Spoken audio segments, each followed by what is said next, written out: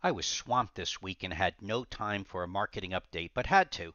Practice what you preach. This is my online toolbox providing weekly quick tips and reminders in all facets of marketing with an objective to help you grow your business with more quality leads, emphasizing more and quality. Our target is online marketing with a combination of education, a strategy, and then implementation to make it happen.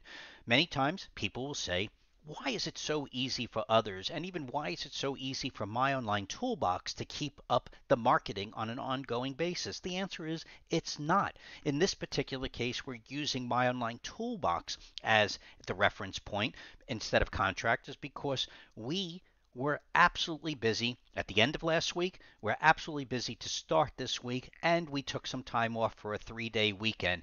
Really have no time for a marketing update, but we had to. The reason is, even last week, we would be hypocrites when we just gave a two word strategy last week about helping solve your marketing puzzle. And it didn't matter whether it's websites, SEO, social. Uh, most people don't like to hear that marketing does require ongoing patience. And what it also is imperative to have continuity.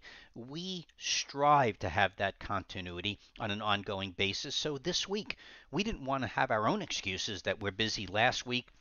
We took some time off and we already started the week backlog. We put some time aside to simply keep the continuity going, even using this simple reminder even though we were swamped and have our own excuses too. So, whether you have a website or don't and are only relying on social media or not a website yet, or possibly only leveraging Google My Business and you need reviews, whatever it may be, the continuity will keep it going. So, just like us, again, as a reminder, even though we were swamped this week, week we had no time for this marketing update, but we had to make it happen. The continuity was part of the schedule. We sliced a little bit of time to do this simple reminder. Now, of course, we have a little bit of time sliced in order to do all of our posts between Facebook, YouTube, and Instagram and any other social channel that we're using. The point is, we made the time, we stick to it, and we don't come up with an excuse.